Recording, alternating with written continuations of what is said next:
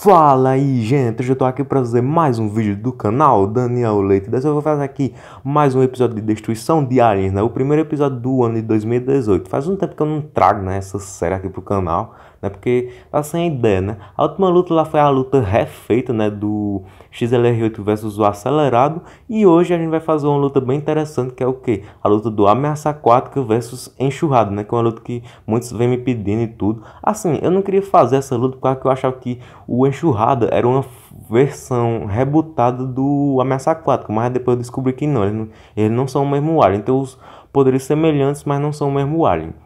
Então vamos lá. Então já deixa aquele like, se inscreve e bora pro vídeo, que o episódio de hoje vai estar tá muito legal. Vamos lá, ameaça aquática versus enxurrada. Como seria a luta entre eles dois? Primeiramente, no murro, né, usando golpes físicos, nada de golpes especiais. Quem ganharia é pelo fato de ter uma estrutura óssea e um exoesqueleto blindado super resistente, é, quem ganharia seria sim o ameaça aquática, né? Por quê? Bom, no episódio Mapa do Infinito é revelado que o agregor supremo, né, ele revela lá quando o Ben tá todo frustrado com ele por causa que ele absorveu os aliens de Andromeda e tudo. Aí ele, transformando no moçado, tentou dar um, um, uma surra no agregor supremo, mas não deu muito certo, né? Aí ele revela que a espécie do, do ameaça aquática, do bivalve e tudo, dos orixãs, ele tem é, um exoesqueleto blindado, ou seja, teorias dizem que o, a espécie do ameaça aquática tem invulnerabilidade, que é o que? É tipo assim, é, ele dá vários murros, né, e, o, e ele continua de boa, né? Ele dá, assim, leva o dano, mas resiste. Depois é tipo assim, eu dou, eu dou vários murros, mas ele não morre, né? Diferente de nós humanos, que nós humanos, a gente leva uma grande quantidade de golpes, né? A gente morre, mas o a espécie do ameaça aquática não, né? Os orixãs não. Por isso que o enormossauro ele tentou dar uma surra no agregor e ele levou dano, mas depois ficou de boa, né? Não mostrou ter de danos aparentes. E, e, o agregor supremo ele tem uma parte né, do DNA do, dos orixãs, né? Porque ele pegou do, do bivalva. Então, é, por essas coisas, o ameaça aquática poderia sim é, vencer o enxurrado. Porque a gente não sabe né, se o enxurrado tem ou não um exoesqueleto blindado é, tão resistente quanto a ameaça aquática, por causa que ele levou uma surra da hidromandra, né, no episódio, primeiro episódio do reboot, o filtro de água, mas é, ele disse sim que tem um exoesqueleto e na wiki diz que ele resistiu sim ao golpe dela, só que depois ele ficou meio desnorteado, meio cansado por causa que levou um, um, golpe dela, né? Então a gente não sabe se ele é tão resistente quanto a ameaça aquática, né? Mas se for, se ele for sim, ia dar empate na, nessa luta no murro, né? Mas por enquanto né, a gente não sabe, então vamos dizer que o ameaça aquática ganhou, né? Por causa que ele tem um exoesqueleto, é confirmado que ele tem um exoesqueleto blindado super resistente que é praticamente invulnerável, né? Agora, usando os poderes, né? Usando golpes especiais, como seria? Bom, é... Aí que tá, né? Por causa que o ameaça aquático e o enxurrada, muitos dizem que eles têm os mesmos poderes, né? Mas, tipo, muita gente pode dizer, nossa, eu nunca vi o ameaça aquático voando, diferente do enxurrada, né? Ele meio que impulsiona a água pro chão, aí ele sai voando que nem um foguete, né? Aí o ameaça aquático a gente nunca viu ele fazendo isso, mas é, o problema é que não tá na wiki, né? Isso. E também é, nunca foi comprovado, mas na Wiki, né, na Wikipedia, diz que o Dwayne McDuff, né, que é um dos criadores de Banés e tudo, ele diz sim que o ameaça aquática ele tem o poder de controlar a água um, a seu favor, pode manipulá-la em uma ampla variedade de formas, ou seja, tem uma hidrocinese muito avançada, né? Ele pode criar tipo bolas de água, é, de água e até mesmo aqueles um jato d'água sincronizado, né? Ele usa isso até no jogo lá do Ultimate Alien Cosmic Destruction. Então tá comprovado, né? Que ele tem esses golpes assim de superioridade de água. Então, o que é que ele fazer lá no enxurrado, né? Primeiramente, ele dá um jato, assim, disparar um jato de água no enxurrado, só para ver o que é que ele fazer, né? Ele ia subestimar o enxurrado, achando que ele era só um um, um da espécie dele, só que crianças, né? Porque são muito parecidos. Só que o enxurrado é do Ben de 10 anos e o ameaça aquática do Ben de 16 anos, né? Porque aqui, é, aqui no Destruição de Aliens luta, são lutas do Omniverse, né? Então o Ben tem 16 anos, mas o enxurrado a gente não viu ele no, re, no, no Omniverse, só no reboot. Então ele tem 10 anos mesmo. É, mas o enxurrado ia resistir, né? Ao, ao jato d'água de boa, né? É água.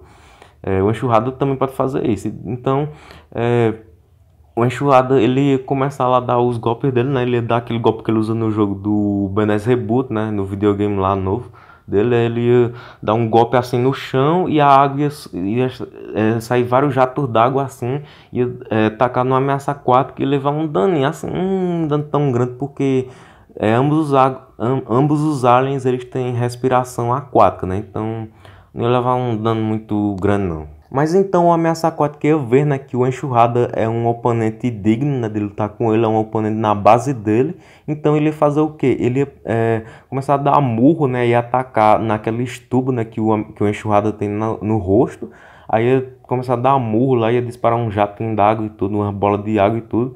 E depois ele dá uma rasteira assim. E aí tentar até mesmo fazer o perfurado fatal, né? O famoso, o famoso golpe aqui da série, onde o o lutador, ele, o alien, né, ele perfura o oponente, né, ele usa as garras dele para perfurar o oponente, depois joga ele é, numa grande distância para dar um bom dano, mas o, a, o, a, a, pele, né, do enxurrada é muito resistente, é muito dura, então a ameaça aquática não ia conseguir furar ela, né meio que só ia riscar, né? Aí, como ele, ele não ia conseguir, né? Ele ia só zoar o enxurrado lá, ele ia escrever riscando, né? Ele ia escrever ameaça aquática forever, né? Só pra deixar ele com raiva, né? E isso ia dar certo, o enxurrado ia ficar com raiva e aí ia tentar atacar o ameaça aquática. E ele ia fazer o quê? Bom, o enxurrada, né? Ele ia meio que se inclinar, né? Pegar impulso lá. Ele ia fazer tipo a pose do Naruto, né? Nem como o Naruto corre, né?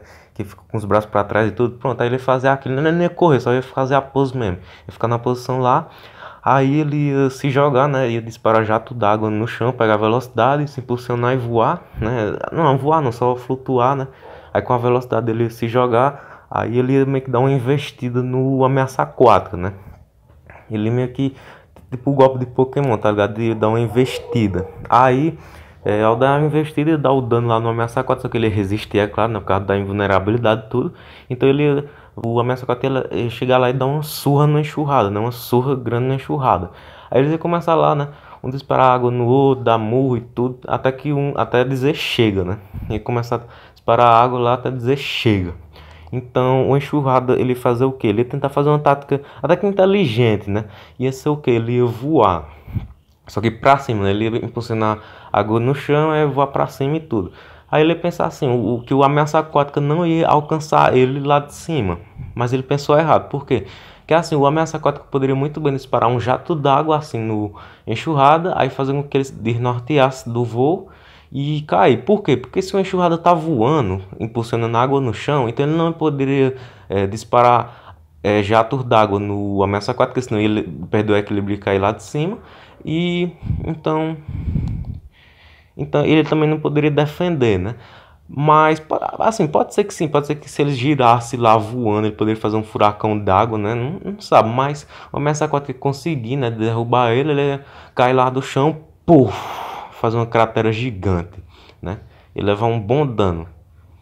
Eu, eu sei que o negócio do exoesqueleto, eu não sei, né? Se ele resistiu um pouco ou não, mas... Mas ele levou dano, pronto, né?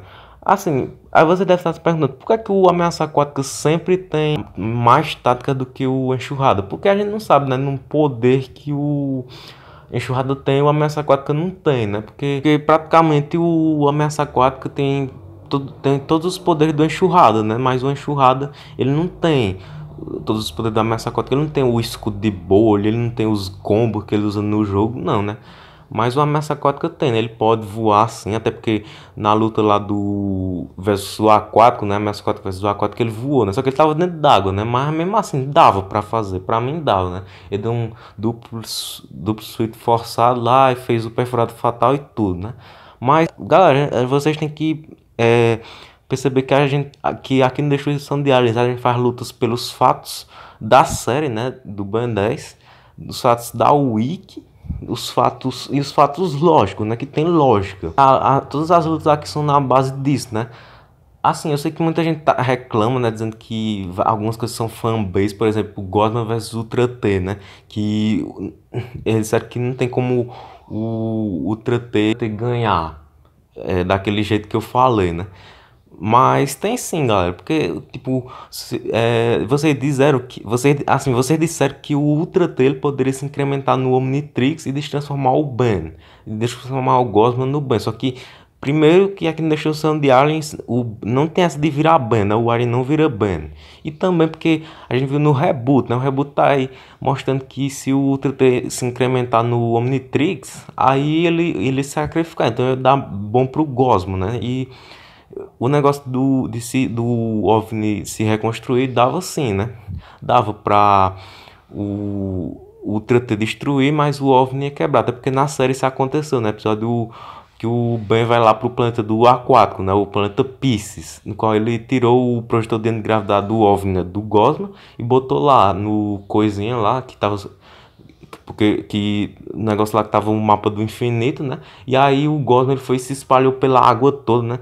E, e tipo, isso seria legal, né? Porque imagina aí o Gosma assim, é, se incrementar na água, né? O Gosma virar água em si, né? Aí se na luta do Tratê tivesse água lá, ele virar um tsunami de água e já era o Tratê, né? É, transformar a Gosma dele em ácido, aí já era, né? Tem essas coisas também, né? Mas vamos voltar para a luta, né? Do, do Enxurrada versus o Ameaça 4. Bom, então o Enxurrada, né? Ele se levantar lá.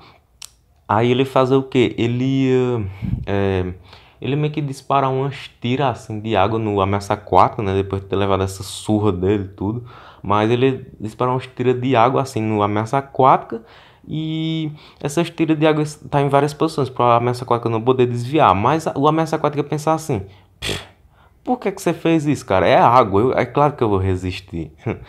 ele pensar nisso, né? E realmente ele ia resistir sim, né? Ah, só umas tirinhas veia, umas tirinhas veia d'água. Assim, eu sei que a hidromandra, ela levou dano, né? Mas é porque é, é, ela, ela é mole, o ameaça aquática não é mole, não. Ele tem o exoesqueleto, né? Então, a água ia...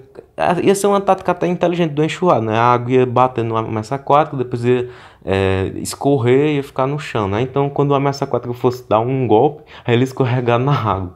Isso é engraçado, né? Então, quando o Enxurrada chegasse lá no ameaça aquática, né? Ele, ele ia aproveitar que ele estava no chão para disparar um, um super jato d'água com força, né? Com um jato preciso é, na, bem na cara do ameaça aquática, só que ele ia abaixar o capuz, né? Que ele tem aquele capacete e abaixar o capuz e aí não ia dar em nada. Então ele ia chegar assim no enxurrado e puxar ele, fazer com que ele escorregasse na própria água. Mito.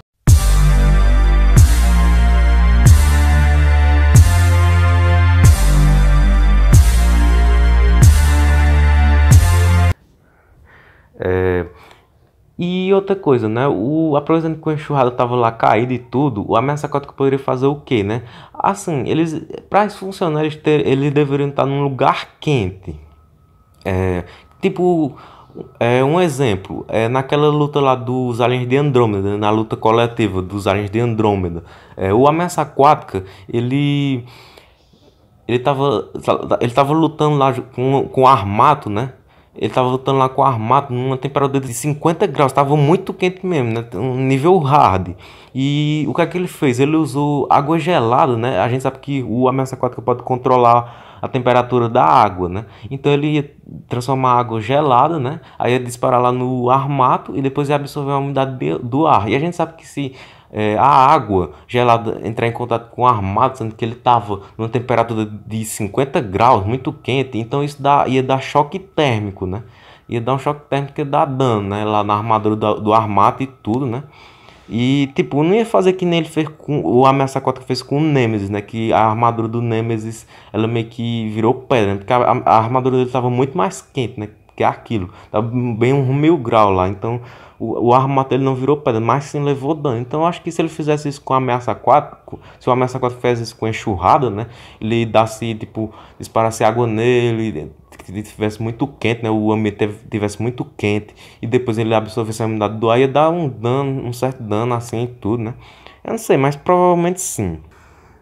Daí o enxurrado ia tentar disparar um, um monte de jato d'água lá no- com raiva, né? Ele tava com raiva já do ameaça aquática e tudo. E disparar um jato d'água nele. Só que o ameaça aquática ia fazer o escudo de bolha, né? Que ele usa em alguns jogos do Ben 10. Então, tipo, aquele, aquele escudo ele defende de várias coisas, né? De, de mísseis, de é, golpes físicos. Então, ele, claro que ele ia defender a água, né? Então é mesmo que ele disparasse lá e não ia dar em nada. Então a luta ia se estender, né? Ia ser uma luta bem grande e tudo. É, eu acho que nem vou falar, eu acho que não ia dar pra falar dela em um vídeo só, mas essa luta ia, ia acabar quando o Enxurrada se cansasse, né? Os dois se cansassem e tudo. Aí o Ameaça ia conseguir esculachar o, o Enxurrada e ser o vencedor. Por quê? Por causa que o, Enxurrada, como eu disse, né? O Enxurrada é do Ben de 10 anos. E o Ameaça Aquática é do Ben de 16 anos, de Omniverse. E o de Omniverse, a gente sabe que ele tem mais controle dos aliens e tudo, até porque ele tem o controle total do Alien X, não o Alien X, o Alien mais poderoso do Ben.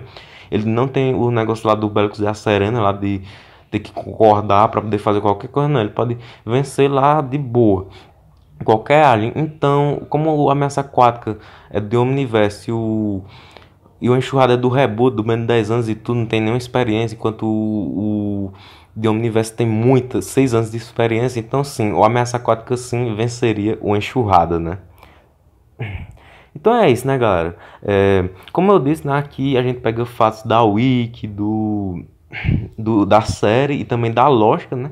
Então é, a luta seria assim, né? Seria, é, eu peguei mais fácil, né? Não a luta em si.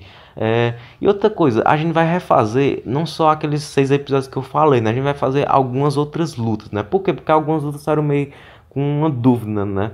Pra, pra fanbase. Por quê? É, naquela luta lá do. A gente vai fazer, refazer naquela luta do Truth versus Godman, que eu disse, né? O negócio lá do OVNI e tudo. Mas aquela luta lá também do Iguanártica versus o Friagem, né? Muita gente disse que o Iguanártica não ia poder ser congelado os membros dele, né? Os órgãos dele.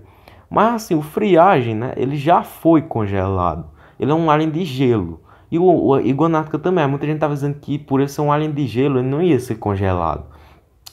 Mas se o Friagem já foi, então o, Iguanato, claro que também seria. E também ele disseram que ele não ia poder comer os negócios do Iguanatica Supremo, né, os canhões lá. Mas o Friagem, cara, o, o Friagem quando tá naquela fase lá de, de gravidez, né, aquele negócio lá de que ele bota os ovos.